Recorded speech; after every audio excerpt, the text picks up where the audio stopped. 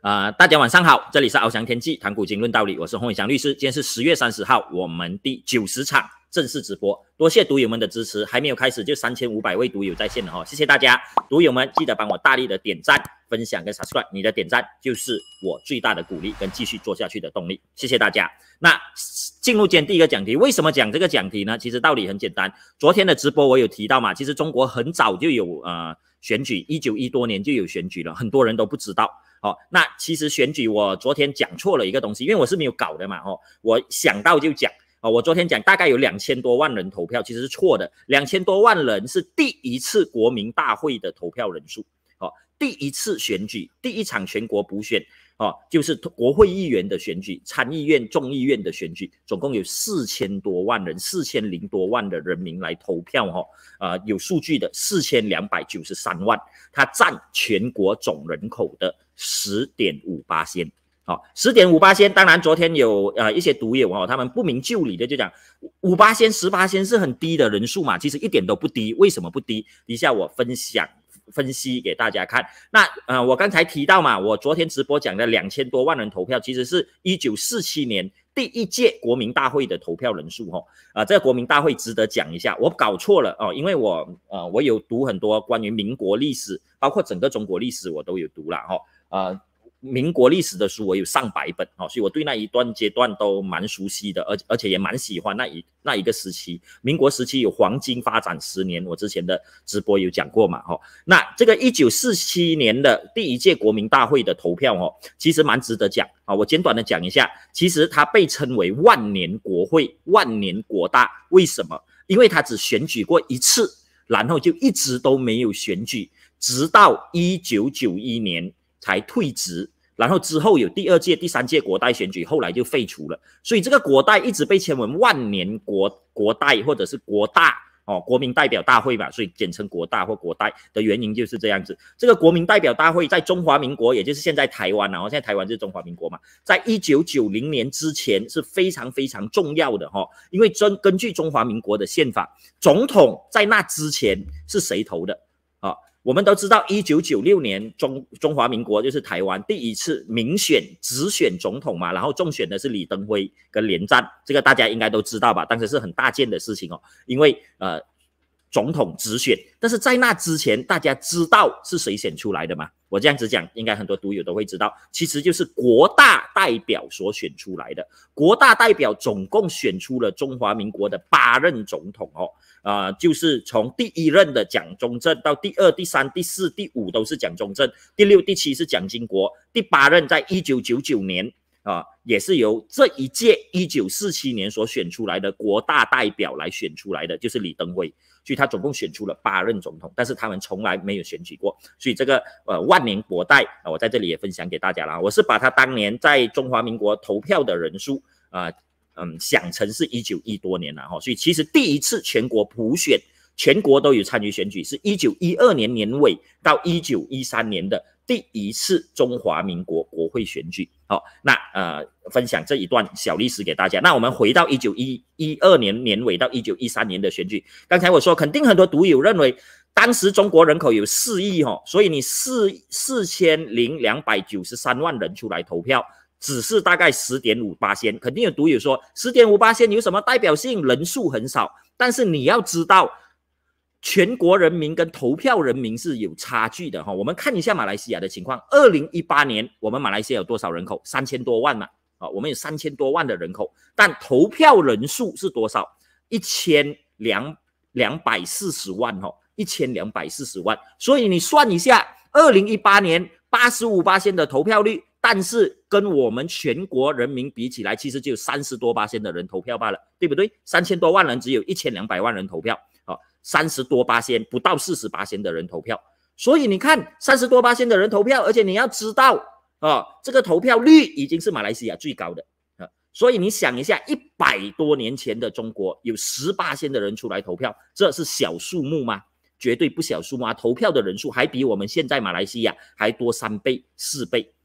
那为什么我们先讲马来西亚？为什么二零一八年我们有三千多万的人口出来投票的只有呃一千多万？首先那时有选民登记嘛，哈，有好几百万的人没有登记，所以现在的登记选民是两千一百万，那时才一千四五百万罢了。啊，一千四百万左右，如果我没有记错的话。所以选民要登记，那有五六百万的人没有登记，所以可以投票的人数就减少了。然后还有很大的原因，有大概一千万的人，像现在两千一百万嘛，有一千万的人是十八岁以下，哦，他们是不能投票的。好，所以这就是为什么投票人数必然会跟全国国民的人数相差很远的原因。好，所以千万不要看小这十八线，这是第一个原因。那第二个原因是什么？我昨天有提到嘛，其实中国当时中华民国啦，不是中华人民共和国，我们讲的是一九一二年、一九一三年的中国哦。他当时的投票人资格是很严格的啊。我们二零一八年，只要你够二十一岁，然后你没有坐牢，你就可以去，你没有，你就可以去登记，你就可以投票了嘛。哦，但是当时的中国，他们并不是全民都可以投票哦，他有。一个很剥削的条件就是什么？我昨天没有讲，我就因为我不想浪费时间嘛。今天特别开一个讲题，也让大家增进增长相关的知识哦。中华民国一九一二年第一次普选，女人是不能投票的，只有男性可以投票。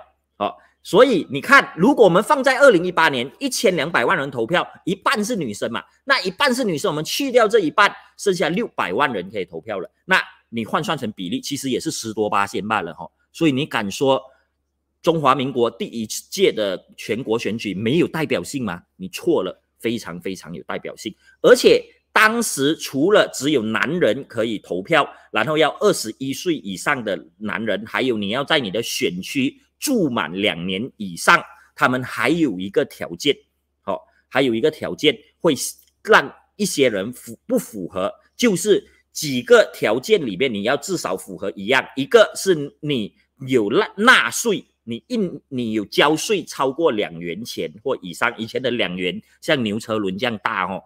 你有纳税两块钱或以上，或者是你有五百块以上的不动产，你有一间家有价值五百块钱，或者是三，你有你是小学毕业或以上，三个条件你要符合一个，你才能投票。意思是，如果你是穷人，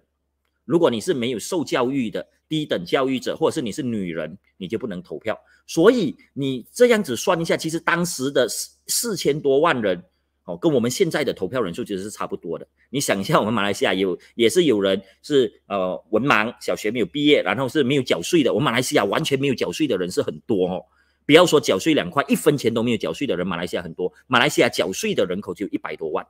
你想一下，如果真的我们用。呃，中华民国当时的这个投票标准来进行投票的话，我们马来西亚可以投票的人只有一百多万罢了。而且啊，一百多万里面啊，当然它三个条件符合一个条件就足够了。三个条件里面有些有缴税的，可能小学也没有毕业的吧。很多大老板都是啊，尤其是我老一辈的大老板哦，他们都是很年轻就出来打拼，小学没有毕业，但是他们还是有资格啦，因为你有缴税就有资格哦，所以。啊，当时的选举是剥夺了妇女的投票权，还有穷人的投票权、低学历的投票权，然后一些小商人呐，他们是有钱，但是做小贩的，他们没有不动产哦，然后他们又没有缴缴税，你要达到缴税门槛是很难的嘛，像我们马来西亚要达到缴税门槛也很难，所以这些人都排除在选举之外，但是同样有四千万人投票，所以你千万不要跟我说什么中国人不适合投票，中国人不能投票，这是完全错误的事情，不要给统治者来洗脑。统治者说你笨，你不能投票，你做不出决定，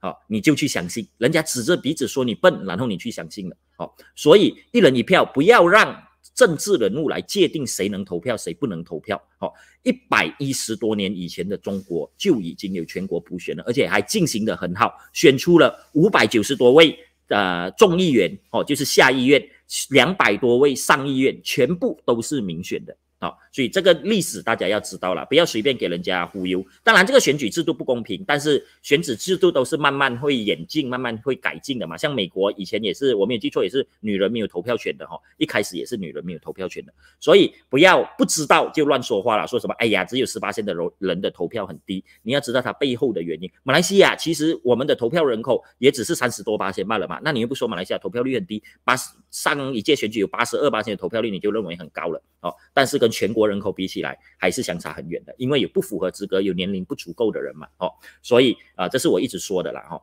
很，其实你懂得越多，你就觉得你懂得越少。像你看，当我读到这些中国的选举史的时候，其实中国第一次全国补选是一九一二年到一九一三年，但在清朝末年的时候就已经有选举了。哦，清朝时代都有选举，我相信很多人不知道。当时当然不是全国普选啦，因为第一次是一九一二年嘛，全国普选，当时是地方性的选举，选出来的成员叫知议局成员。哦，这知议局是可以参与呃到政治里面的，那他一半是由呃清朝皇室来委任的，都会呃委任皇亲贵族，有一半是民选的。哦，咨询的咨，议会的议。然后局是这个局长的局啦，知议局哦，大家可以去找一下它的历史。今天我就不讲了，我只是想要讲讲，短短讲一个这样子的情况。所以清朝都可以办选举，当然清朝当时办选举是呃，